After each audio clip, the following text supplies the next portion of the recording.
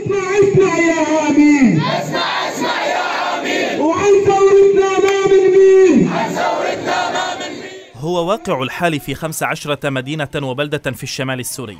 مظاهرات شعبية غاضبة ضد الجولاني وميليشياته للمطالبة بوقف الانتهاكات وحملات الدهم والاعتقال المتواصلة بحق كل من يخالف الميليشيا بالرأي أو يجرؤ على انتقادها.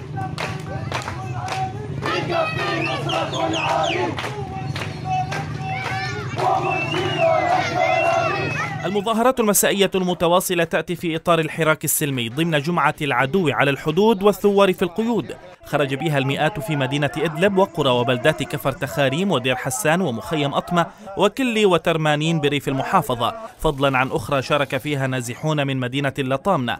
منددين بما تقوم به الميليشيا ومسؤولوها من مداهمات ليلية وانتهاك لحرمات المنازل وترويع الآمنين. مطالبين بفتح الجبهات ورفع سقف الحريات ومحاربة الفساد والمحسوبية المستشرية في مناطق سيطرة الجولاني والإفراج عن المعتقلين في سجونه.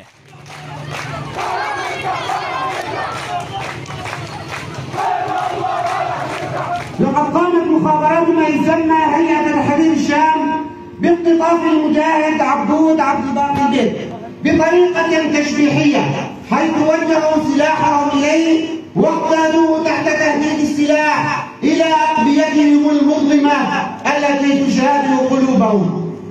الشعارات والهتافات المطالبة برحيل الجولاني لم تقف عند حدود إدلب بل امتدت لمدن وبلدات وقرى بريف حلب. منها الأتارب وعزاز والباب والسحارة وبابكة ومخيم ريف حلب الجنوبي وكفر وصوران.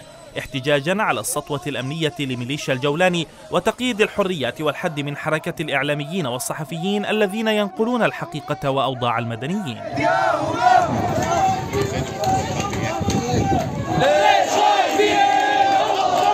مراقبون يرون أن الحراك الشعبي المتواصل منذ أكثر من شهرين بمشاركة نساء ورجال في الشمال السوري على الرغم من السطوة الأمنية الكبيرة للميليشيا دلالة على فشل الجولاني بالسيطرة على المدنيين وكسر إرادتهم ودفعهم نحو الخنوع والتغاضي عن جرائمه وانتهاكاته.